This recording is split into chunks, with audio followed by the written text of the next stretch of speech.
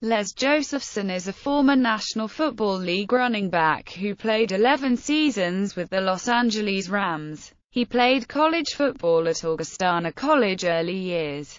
His professional career had its start in his high school days in Minneota, Minnesota, where he played eight-man football. He had not played 11-man ball until he began college at Augustana in Sioux Falls, South Dakota. His early college years were outstanding, playing on a college team that showed unusual success and talent. The team during his final two years, however, had only mediocre success, and his hope to be claimed in the college draft faded.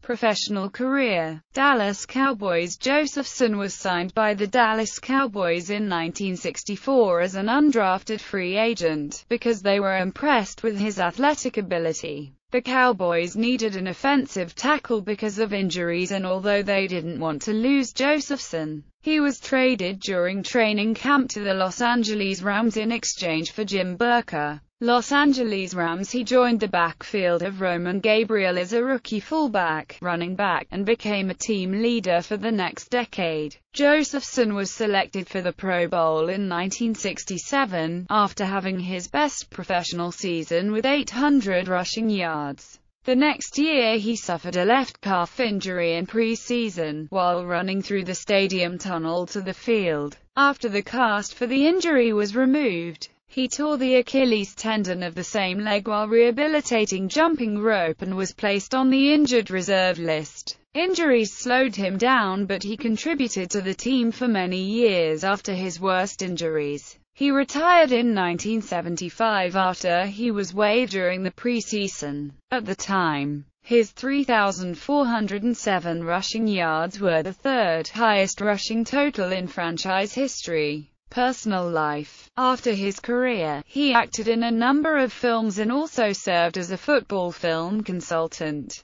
films and television, technical consultant for Gus, Nickelodeon as a bouncer, Police Woman episode, Death Game, Superdome as Coretta, Heaven Can Wait as Owens. Josephson also served as a technical consultant for the film.